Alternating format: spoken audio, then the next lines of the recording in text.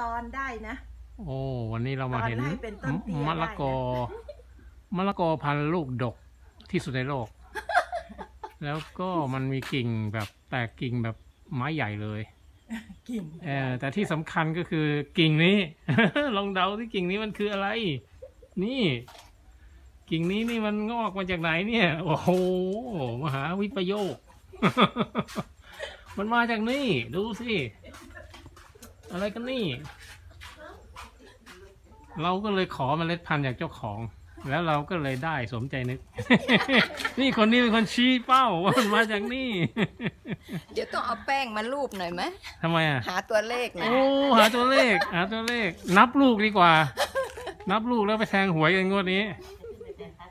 โอ้ ชอบมากชอบมาก อันนี้เลยได้ ขอบคุณเจ้าของสวนนะครับ ที่จริงมะละกอนี่คือของแถม อาชีพหลักเนี่ยนี่เราได้สองลูกเดี๋ยวไปปลูกเอาอเม็ยู่ดไหนมันอยู่ไหนอ๋อนี่ไงเห็นไหมใครจะแบ่งไหมตั้ตั้งใจปลูกไม่ออก เราก็โยนทิ้งทิ้งๆไป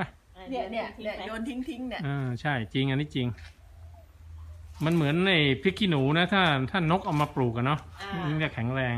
เพราะวันนี้